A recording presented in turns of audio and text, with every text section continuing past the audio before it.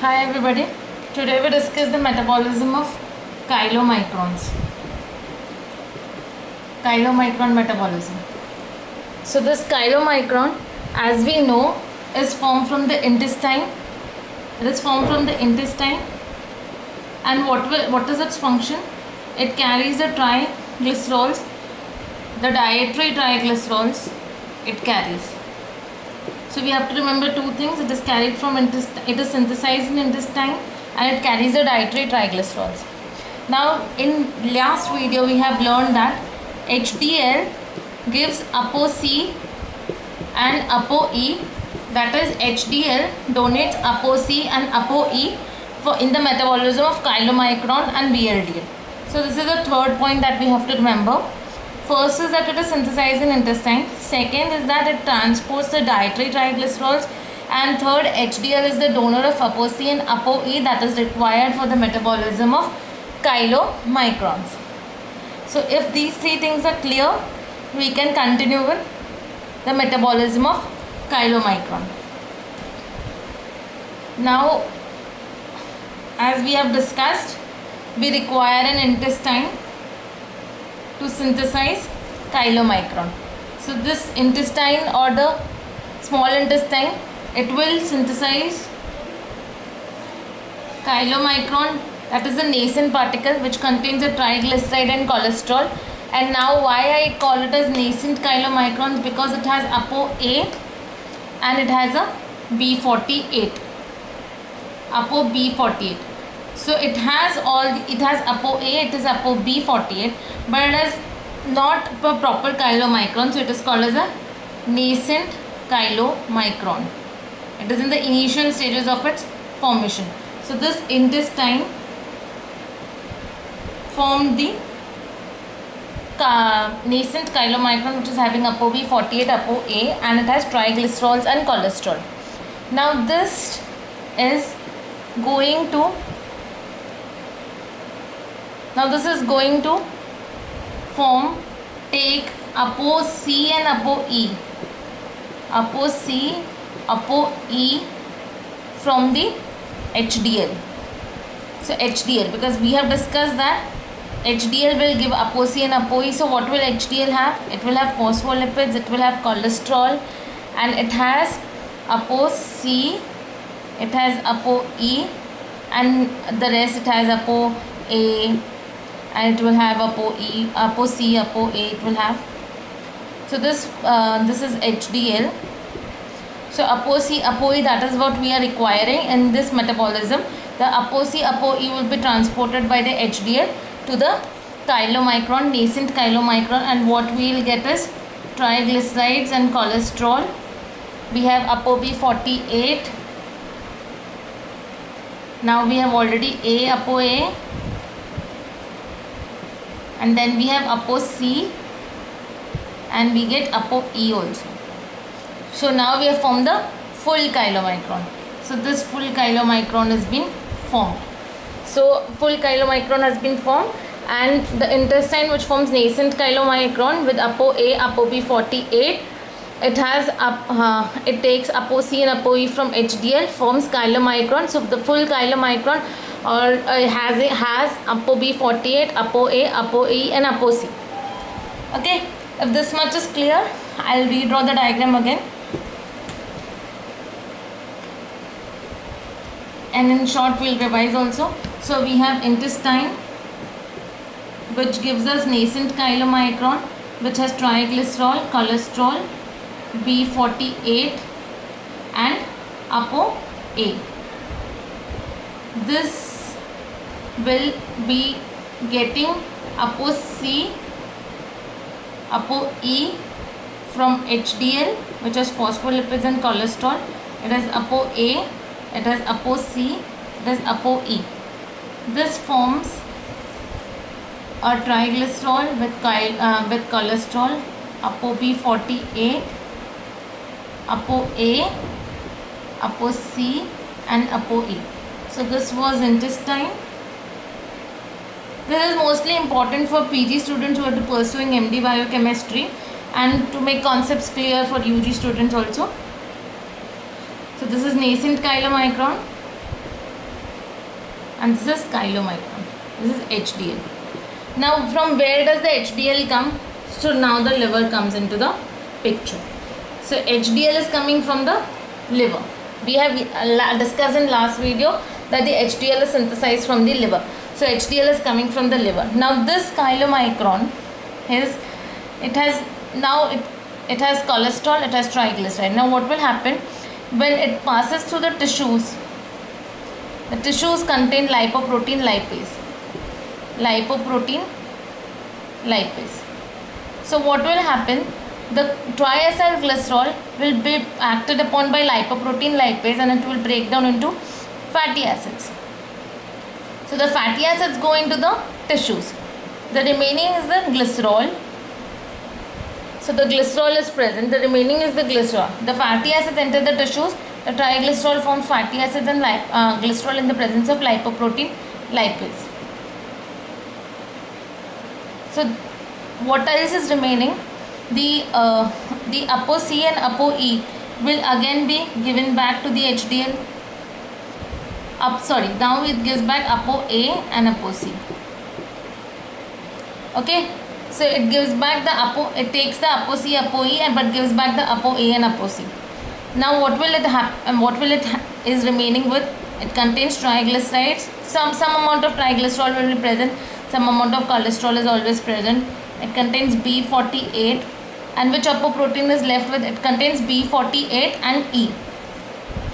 Okay it contains B48 and E. So this is called as chylomicron remnant. So the point to be noted is the apo C and apo E were transported from HDL but when it had to return back it gave apo A and apo C back to HDL. Therefore the chylomicron remnant has apo E and apo B48. So this chylomicron remnant can now enter the liver now it can enter the liver in two ways because the liver has two receptors. It has two receptors. One is LDL receptor. LDL receptor. This is LDL receptor. And this is LDL receptor protein.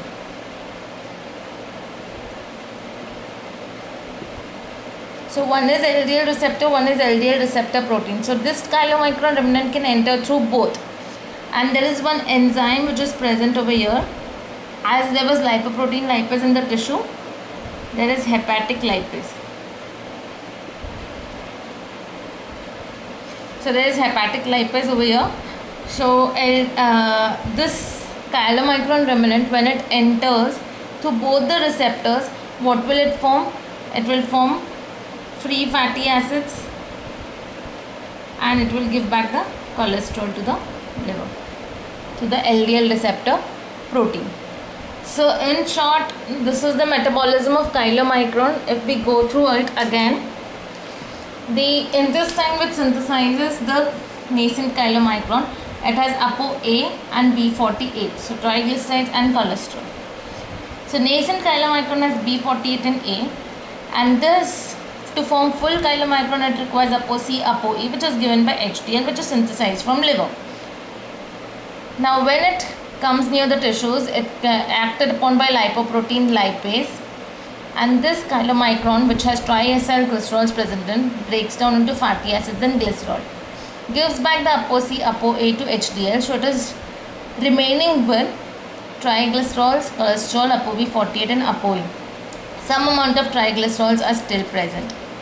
So this remaining all the chylomicron remnant enters the liver through LDL receptor of LDL receptor like protein and it when it enters the liver there is again an enzyme called as hepatic lipase. So the amount of triglycerol which was present is broken down into free fatty acids and cholesterol is given to the liver. So this is the whole mechanism of transport or, or the metabolism of chylomicron. This is easier as compared to the reverse cholesterol transport the thing only that we did reverse cholesterol transport in the first video was so as to know that HDL contains ApoC and ApoE and this was being uh, helping us to donate ApoC ApoE into the chylomicrons. So this is the chylomicron metabolism. and now I need to discuss the hypolipoproteinemias especially the hypoalpha proteinemias if you remember in the electrophoretic videos electrophoretic video I had discussed that the alpha lipoprotein is HDL HDL see the metabolism or in this video the metabolism of chylomicron is especially for the PG students okay the metabolism of chylomicrons is especially for the PG students because they can be asked and for the UG students it is conceptual. But the MCQ that is mostly asked is about the apoproteins and the diseases. So today we'll discuss hypolipoproteinemia. Okay. So these are the MCQ. So now we discuss the MCQ part of this. The alpha lipoprotein is called as the HDL. So hypolipoproteinemias hypolipoproteinemia this means there is decrease of the lipoproteins and if I say there is hypo alpha lipoproteinemia the alpha is HDL this means there is decrease in the HDL so this is one MCQ that is hypo alpha lipoproteinemia. That is there is decrease in HDL and hypolipoproteinemia means there is decrease in the lipoproteins. Now which are the conditions of hypolipoproteinemias? Now hypolipoproteinemias there can be a hypo beta proteinemia or it is better called as a beta lipoproteinemia sorry. A beta lipoproteinemia and see the hypo conditions we are discussing and hypo alpha alpha proteinemia okay hypo alpha lipoproteinemia so because it is a beta okay this means the beta lipoprotein is not there which is beta lipoprotein that is beta lipoprotein is LDL so LDL lipoprotein is decreased. A hypo alpha means HDL this means HDL lipoprotein is decreased. Now hypo uh, A beta lipoproteinemia or the decrease in the LDL is seen is seen in which of diseases? It is seen with retinitis pigmentosa, retinitis pigmentosa, and it is seen with acanthosis, acanthosis, spinocerebellar ataxia spinocerebellar ataxia and malabsorption. So the mnemonic is rasam. It is a South Indian dish that it is very tasty. So the mnemonic is rasam, R for retinitis pigmentosa, A for acanthocytosis, S for spinocerebellar ataxia and M for malabsorption. So A beta lipoproteinemia or decreased LDL is seen associated with these conditions. This could be your MCQ, retinitis pigmentosa, acanthocyte, acanthocytosis, spelling mistake, sorry, spinocerebellar ataxia and malabsorption. Rasam. Now we see the hypo-alpha lipoproteinemia. Hypo-alpha lipoproteinemia means there is HDL deficiency. Now HDL deficiency this can be in two diseases that is Tangier's disease or it could be due to the deficiency of LCAT. Okay. Now coming to Tangier's disease. In the last video you have seen that there was metabolism of HDL and where we had one protein ATP binding ATP binding cassette transporter protein ABCA1. What was the function of ABCA1? It was the function that it would transport the cholesterol from the tissue to the ApoA1 so that it could form pre-beta HDL. Okay, but now there is no uh, there is no ABA. This was the function. Okay, the cholesterol was transported via the ATP binding cassette transporter protein. So ABAC1 is not there or it is deficient. So the cholesterol will not be transported pre-beta HDL will be not formed. So HDL synthesis will be hampered. So this is the Tangier's disease and this Tangier's disease has one more feature that it has orange tonsils okay so these are the two important points of the Tangiers disease that there is decreased HDL because there is uh, lack of ABCA1 and there are orange tonsils. Now coming to deficiency of LCAT. Deficiency of LCAT means lecithin cholesterol acyl transferase. This enzyme was important. It was binding, it was uh, present in the uh, HDL, nascent HDL and it was forming cholesterol esters from cholesterol. So if there is deficiency, it could be complete deficiency or it could be partial deficiency. Okay, so with the partial deficiency is called as the fish eye disease. Fish eye disease. So the two important uh, conditions that you have to remember is there is decreased HDL is first is the Tangiers disease, second is the fish eye disease and there is complete deficiency of LCAT. That's all for this video. Thank you so much.